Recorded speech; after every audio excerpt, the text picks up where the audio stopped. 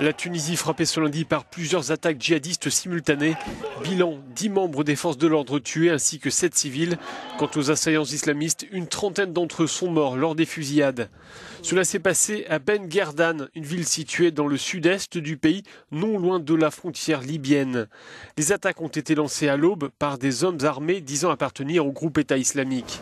Ils ont ouvert le feu sur une caserne de l'armée, un poste de police et un poste de la gendarmerie.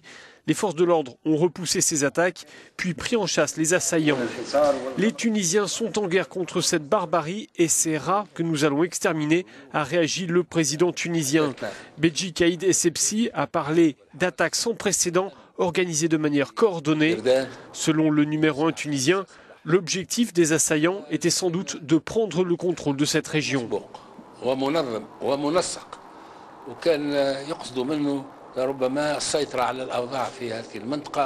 Les autorités ont instauré un couvre-feu dans la ville pour la nuit. Les postes frontières avec la Libye ont été provisoirement fermés. Les spécialistes affirment que ces attaques pourraient être une forme de représailles aux raids aériens menés le mois dernier contre une base de l'État islamique à Sabrata, dans l'ouest de la Libye.